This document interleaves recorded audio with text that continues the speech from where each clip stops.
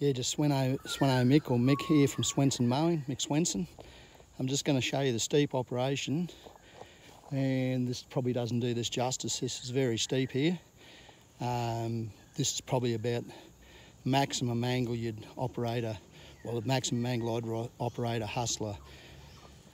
Uh, I've got a Hustler FasTrak Super Duty here, 48 inch, and it's probably about as steep as I'd operate. Um, then you're sort of probably needing four-wheel drive mowers or something like that. But anyhow, here's I'm going to do a few different things. I'm going to show how easy it is to actually operate a Hustler on steep going, the way I use it, and I'll show you how easy it is to get out of control when you use it the wrong way, as in, as in nose down. I've got a good runoff area here just to show you. I'll show, show you here that this is quite easy to operate on steep going. Well, I operate on this steep going. I'm not saying anyone else should but uh, this is how I go about it. So I'm just going to give you a quick demo here for a couple of minutes on steep going and at the end I'll show you how not to operate them on steep going.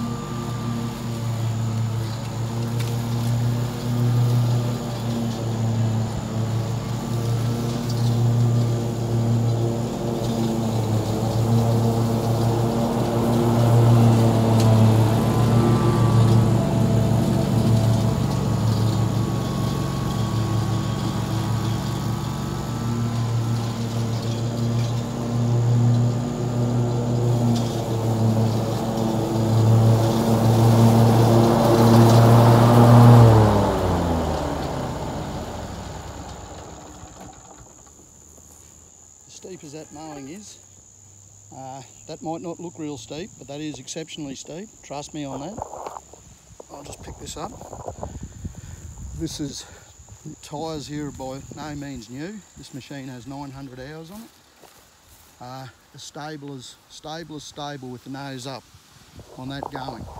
So effectively, if I'm walking into it, if I don't, at about at about four metres, five yards roughly, walking into the height of the vertical height of my uh, body. So, hang on, let me pace this out.